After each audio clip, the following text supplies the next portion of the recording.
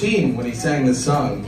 So uh, maybe in 2010 I was I was touring Germany and we did a show together and he was like in his 50s, so he was young.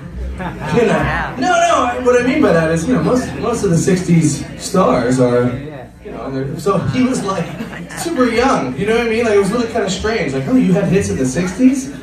Super nice guy, uh, Peter Noone is. Uh, I hope, unless he's been made bitter over the last 10 years, which has happened to a lot of people. I'm kidding, I'm kidding. Relax. So, we like to do the sex song. And uh, it goes like this. One, two, three. Can't